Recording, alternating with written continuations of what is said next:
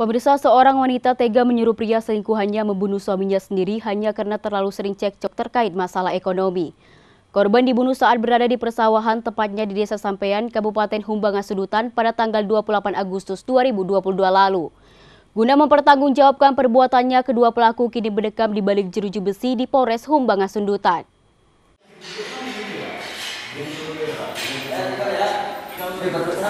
Seorang pria HS 52 tahun dibekuk polisi saat berada di salah satu warung kopi di Desa Janji, Kecamatan Dolok Sanggul.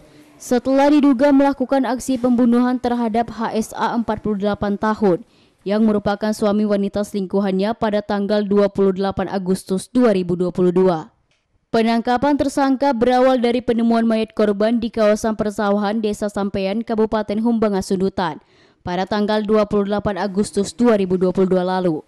Polisi lalu melakukan penyelidikan dan mengintegrasi istri korban. Kepada petugas wanita beranak empat ini akhirnya mengaku kalau otak pembunuhan korban adalah dirinya sendiri. Sementara pelaku pembunuhan adalah HS yang merupakan kekasih gelapnya. AS mengaku nekat menyuruh kekasih gelapnya membunuh korban karena kesal dan sakit hati terhadap korban yang dituding tidak pernah memberikan uang belanja untuk menafkahi keempat anak mereka. Sementara mereka mempunyai empat orang anak. Tadi kan ibu bilang uh, ibu kesal. Kesal seperti apa terhadap suami ibu? Karena saya Gimana bu? karena masalah ekonomi lah dengan suami saya pak. Ma, supir pak, Hah? Per- Supir. pertemuannya di mana ini? Di motor Di mo- motor mana ini? Di mana? di mobilnya sendiri pak, di mobil yang dibawa pak. Suami ibu apa pekerjaannya? Bertani juga pak. Kejadian waktu itu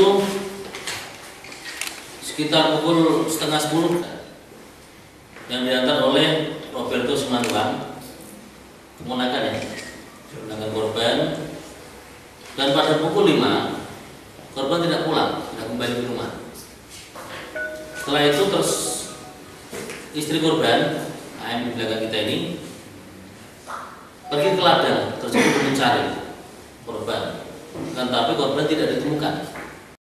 Setelah ditemukan terdapat beberapa luka di bagian alis kanan, bagian pipi, bibir atas, dan kepala belakang. Menurut pengakuan pelaku, korban dibunuh setelah memukul bagian kepala korban dari arah belakang menggunakan sebilah kayu. Lalu menyemprot seluruh tubuh korban dengan racun hama guna menghilangkan jejak atau sidik jari. Akibat perbuatannya, HS dan AS dijerat pasal 340 subsidiar 338 KUHP pidana. Subsidiar 338 Junto 565 KUHP pidana dengan ancaman hukuman mati dan hukuman seumur hidup. Dari Kabupaten Humbahas, Aris Fernando Manalu, iNews melaporkan.